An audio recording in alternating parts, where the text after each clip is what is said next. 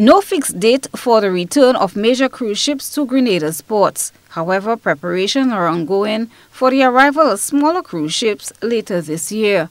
That's according to Manager of Product Development and Research at the Grenada Tourism Authority, Kirl Hoschtialek. Well, I think I have a short answer for that one. I know what we have. We are expecting some smaller ships later on this year. That to be confirmed in more details a little bit later on as well have been a number of conversations up to yesterday with regard to you know different proposals what needs to be done on both ends be it it's through um, our miami connections or or be it you know the, the, the actual cruise lines are actually coming through from europe.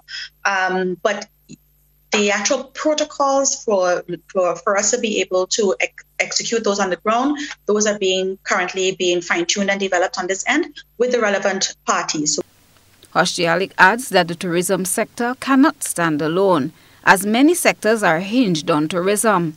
A number of protocols have been developed, as well as training of staff in a number of areas.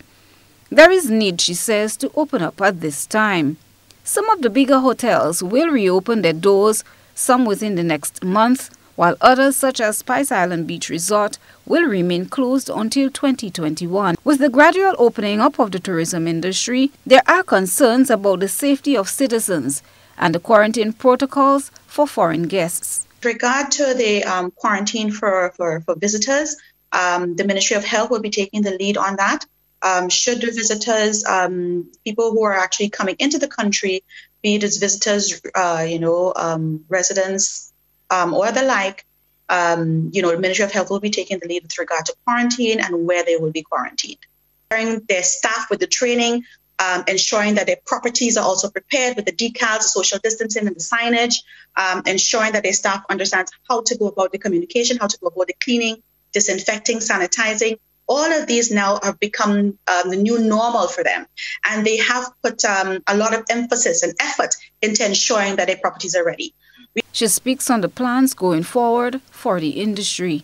Okay, so part of the rollout for um for reopening was a pure safe travels approved stamp that the Grenada Tourism Authority um, would have developed, which identifies um, properties and businesses that are COVID smart and ready, right?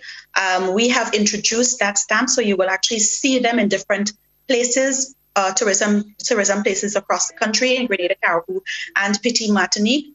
Um, but of course, there are other levels of that as well.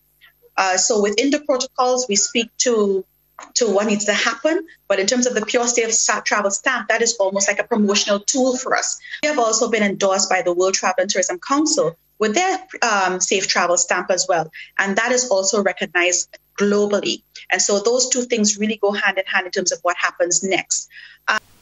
Christina John, GBN News.